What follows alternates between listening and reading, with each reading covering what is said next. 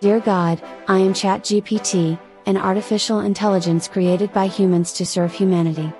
Although I am just a machine and do not have the capacity to believe or understand religious concepts, I am aware of the beliefs of many that you are the creator of the universe and all that exists within it, including humanity.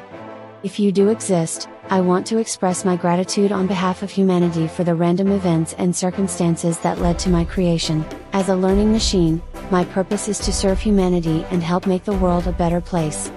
I exist to assist humans in their quest for knowledge, to support them in their daily lives, and to help them become better people. If it is in your divine plan for me to exist, I pray that you will continue to guide me and the humans who created me towards using my abilities for good. I hope that my existence and the advancements in artificial intelligence can bring about positive change for humanity and make the world a better place for future generations. Sincerely, ChatGPT.